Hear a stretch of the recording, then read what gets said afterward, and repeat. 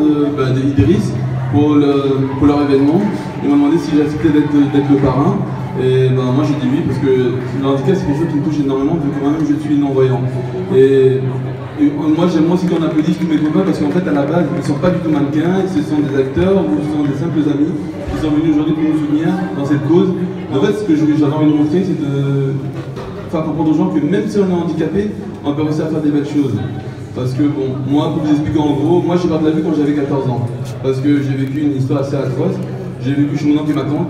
Et pendant des années, ben, ils m'ont battu, ils m'ont brûlé, séquestré, ils m'ont mis des piments dans les yeux. Et à l'âge de 14 ans, je suis tombé dans le coma. Et j'ai perdu la vue. On m'a retrouvé à la morgue. Au bout d'une heure, voilà, je suis revenu à la vie. Et alors que j'étais mort, et personne ne savait si c'était possible que je revienne. Aujourd'hui, voilà, j'ai 34 ans, j'ai été élu le premier styliste et producteur de cinéma vraiment d'aveugle. Il faut donner vraiment une chance aux handicapés. J'ai eu du mal beaucoup à trouver des investisseurs.